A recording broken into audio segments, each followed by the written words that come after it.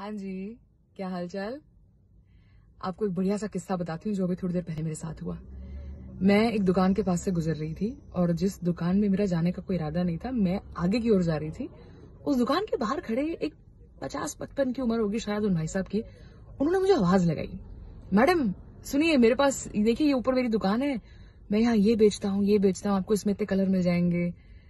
कुछ उनकी उम्र का तकाजा, कुछ, वो, आप उनका कहने का अंदाज कह लीजिए, मैं गई उस दुकान में, मैंने सामान खरीदा। मैं बोला, चलो, कुछ नहीं लेना तो भी थोड़ा सा कुछ ले लेते हैं। ले सकते हैं तो ले लेते हैं हाँ? एक मिडिल क्लास आदमी है ना, अपने घर से जब सुबह निकलता है ना तो मेरे ख्याल से इस कोशिश करने की भावना के साथ ही निकलता है कि मैं अपनी पूरी कोशिश करता हूँ, फिर आगे देखते हैं, जो किस्मत कराए। ये होनी चाहिए, है ना? ये ये ये बहुत ज़रूरी है, जब तक ये है, तब तक सब कुछ सही है। सब्ज़ियाँ लगाने वाला जो एक ठेला लगाता है रस्ते पे, वो सुबह अपने घर से निकलता होगा तो यही सोचता होगा ना साथ मेरी सारी सब्ज़ियाँ बिक जाए। हैं? क्या कहते हो?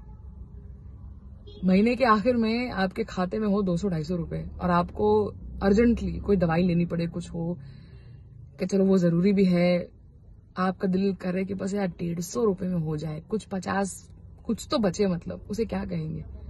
एक आस रखना कहेंगे। देखिए, जब तक मन के अंदर ये आस, कोशिश करने की भावना, ये सब चीज़ें हैं ना, तब तक सब कुछ सही चल रहा है। दुआ है कि आपके अंदर कोशिश करने की भावना, ये जज्बा, ये रहे। बाकी ऊपर वाले के हाथ